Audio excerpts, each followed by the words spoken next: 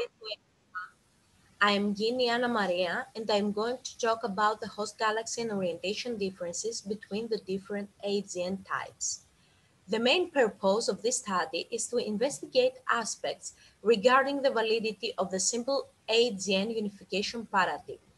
In particular, we focus on the AGN host galaxies, which according to the UP should show no systematic differences depending on the AGN classification. For our study, we used a spectroscopic sample of Seyfert 1, Seyfert 2 LINERS composite and star-forming galaxies with redshift up to 0.2 from the SDSS data release 14.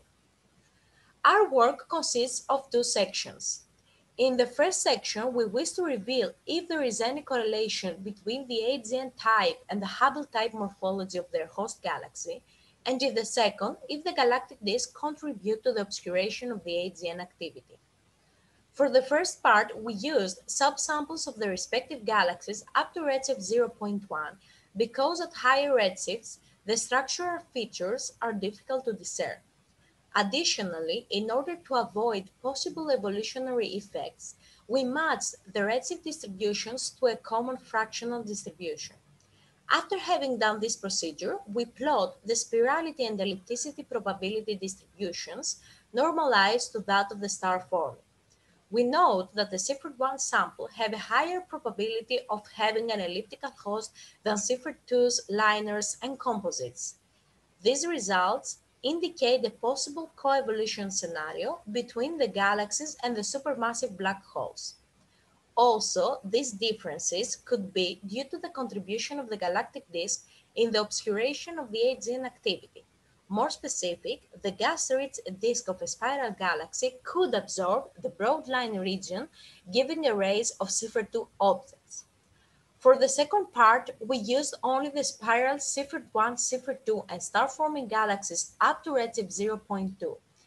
Here, we also obtained the matched redshift and stellar mass distributions in order to exclude possible evolutionary and luminosity biases we plot the B over A distribution of the Seyfert 1 and Seyfert 2 sum samples with respect to the star-forming galaxies.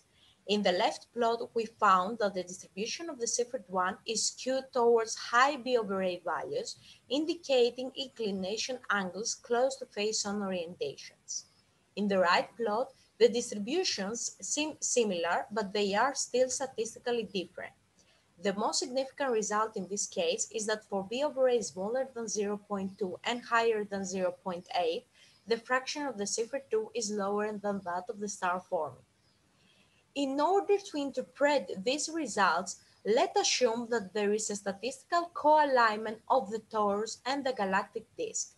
Indeed, this scenario can explain the fact that the Seyfert 1 galaxies have more frequently face-on host galaxies compared to the control sample. However, we should correspondingly expect a higher amount of face-on host galaxies in Seyfert 2 distribution. Thus, we don't have clear indications to confirm this scenario without excluding this possibility. Regarding the difference in the distributions of Seyfert 2 and star-forming galaxies at low B over A values, a possible explanation could be that in more edge-on orientations, the dust and the gas of the disk can be sufficient to obscure both the broad line and the narrow line region.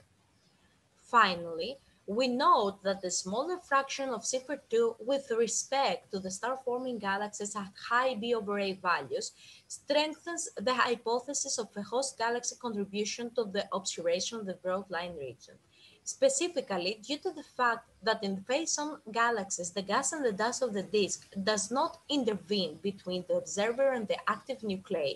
The only obscure of the broadline region is the torus, which apparently in some cases is not sufficient to hide the broadline region, giving rise to the deficiency of type 2 in face-on galaxies.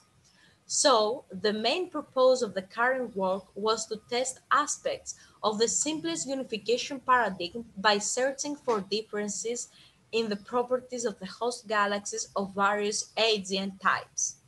We find that the Seyfert 1 population appears to be more elliptical than all the other classes of the AGN host galaxy, and that there is a possible contribution of the disk of the host galaxies in the obscuration of the central AGN emission. Thank you so much.